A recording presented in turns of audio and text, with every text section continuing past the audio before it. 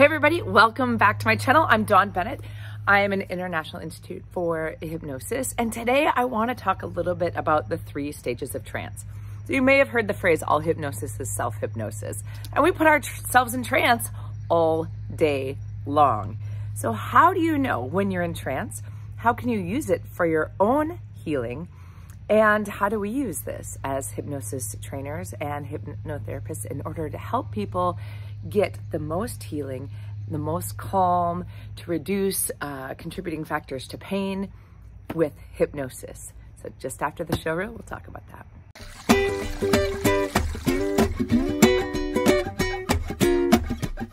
you can't wiggle too much.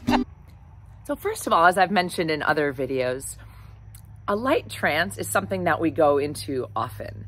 And in fact, most people, when they go into a light trance, just feel relaxed. They feel calm. Have you ever heard an athlete or a professional say like, oh yeah, I was in the zone. I was totally doing my thing and I was just in the zone. That is actually a light level of trance.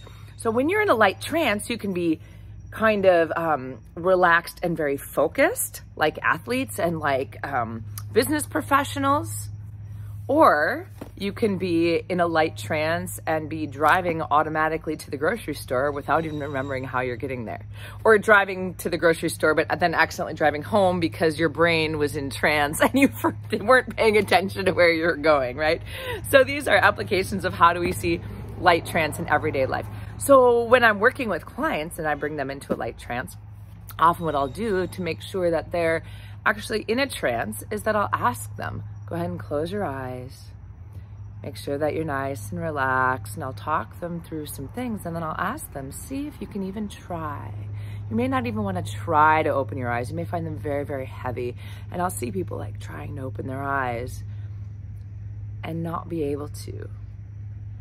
So this is one thing that I use to help clients have a relaxation, understanding that, okay, we are in hypnotic trance.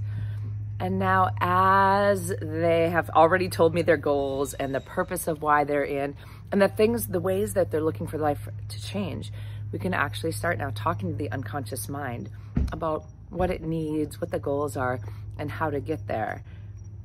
The next level of trance is actually what we call a medium stage trance when I'm going more into medium stage trances, and by the way, this is all in a spectrum, so it's not like category, category, category. So this is a spectrum of like, oh, I'm really, really light to I'm really, really deep. Just kind of like you can sleep really, really light or really, really deep. Same thing with hypnosis.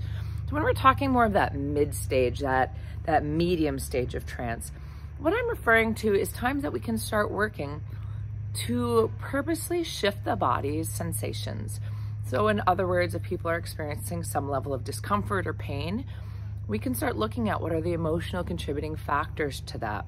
How can we have conversations with the unconscious mind whose prime directive is to keep us safe? So what is the awareness the body is bringing to us? through these physical sensations and actually working with the body and working with the unconscious mind to change the sensations so people have less experience of pain right? So we're not diagnosing, treating, or curing, but what we are doing is we're working with the body's natural systems. We're working with emotional contributing factors sometimes.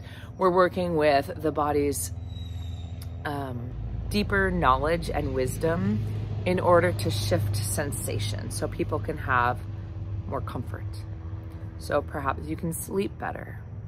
Perhaps you can focus more clearly. Perhaps you have an, more of an awareness of hey, every time this shows up, it means I need to drink more water or I should eat a little bit healthier or whatever the thing is that your body is trying to tell you through these physical sensations. So we can work with helping your body numb those or soften those so you can function at a really, really high level for yourself.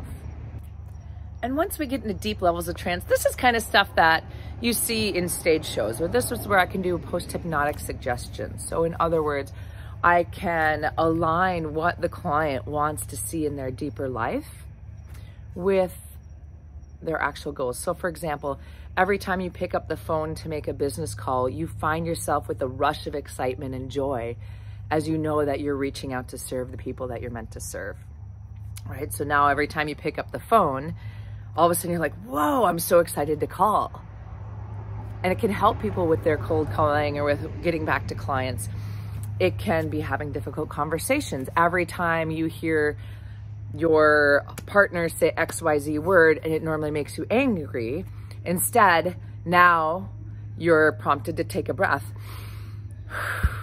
relax, and either disengage from the situation or think before speaking. So we talk about these situations ahead, ahead of time, how you tend to react, how you'd like to react instead. We can actually, when the body's in a deep trance, do this. So how does this work in your everyday life? Well, have you ever gone in the refrigerator and like you're looking for, let's say, the pickles and you cannot find the pickles anywhere and you're looking through the whole refrigerator like, I know I have pickles. I know I have pickles. Where are the pickles? And then some comes up, they're like, they're right there in front of you. And you're like, how did I not see the pickles? They're right in front of me. In that way, you're in a deep trance. Now note, when we are in deep trance, we're also picking up suggestions from the television, from whatever people are saying around us, from the music that's around.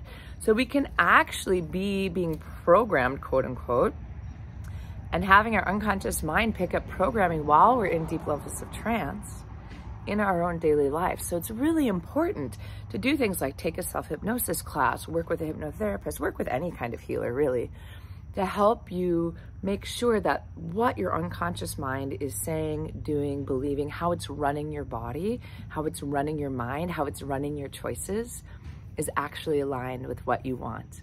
So those are the three kind of main levels of trance.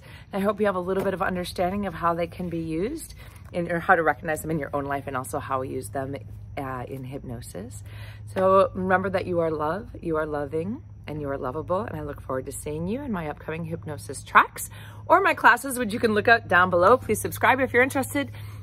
And remember, all hypnosis is self-hypnosis. So as you explore my tracks in times to come, allow yourself to be in a place where you know that you deserve the healing and the love.